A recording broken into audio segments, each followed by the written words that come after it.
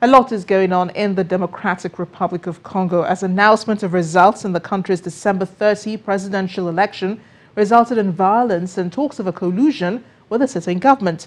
The Constitutional Court, which cut short President Joseph Kabila's ambition of running again in the polls, has less than 10 days to validate the Electoral Commission's announcement and swear in the new president. But at the point we're at, no one is really sure what will happen.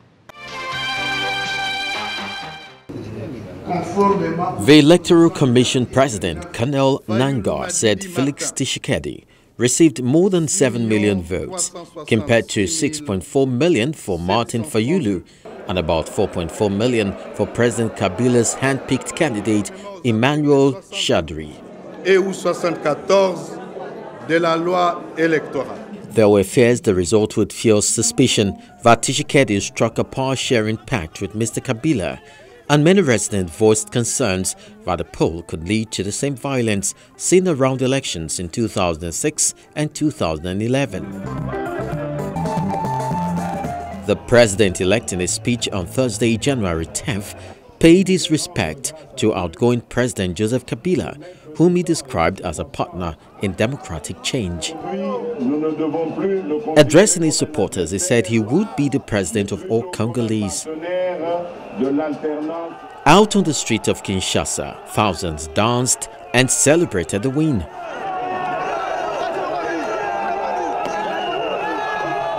But runner-up in the election, Martin Fayulu, dismissed the result announced and called on the election observers from the Catholic Church to reveal the name of the winner their vote counting produced. Cheers and jubilation were soon mixed with anger and uncertainty over the future.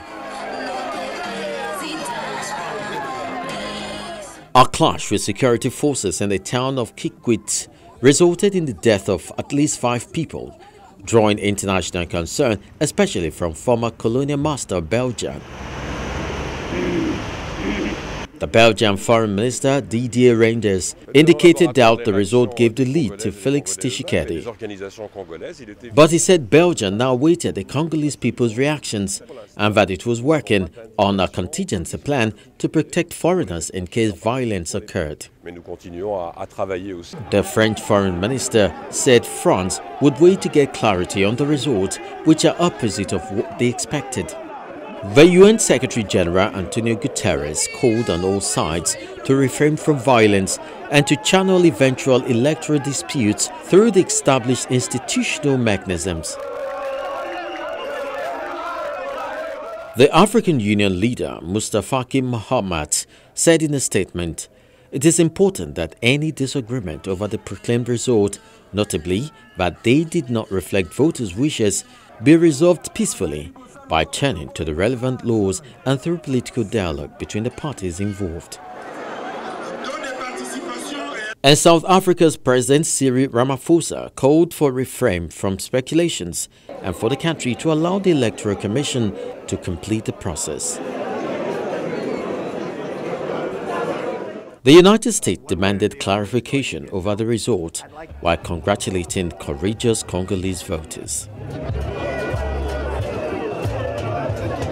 And the European Union said it was waiting for verdict of election monitors. To the press conference after today. In the meantime, Martin Fayulu has filed a complaint to the Constitutional Court and the Palace of Justice. Okay. He said his lawyers had filed a complaint on Friday, January 11th, and called for a recount of the presidential votes. The court now has only a few days to rule on the complaint. Felix Tshisekedi, the son of veteran leader Etienne Tshisekedi, who died in 2017, has promised to make the fight against poverty his priority. He ran on his own ticket with the backing of politician Vital Kamerhe.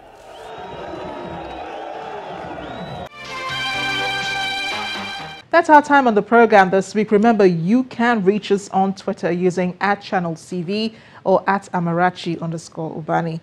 Thanks for watching. I'll see you next time.